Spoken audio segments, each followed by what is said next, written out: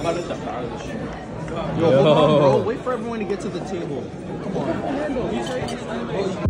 You know, throughout the years, it's been crazy. I've done a lot outside of school, and I've done a lot inside of school. But I think I gotta bring it to the biggest thing that I've ever done. You know, I've done a lot of work, but the things I'm gonna remember are these moments. The moments where people came together and just hung out, had fun. You know, I'm one of those people that I will remember these moments. And these ones will stick with me forever. But in the end, you gotta make sure you get your work done and you graduate. And you have to remember sometimes you fade away from some people.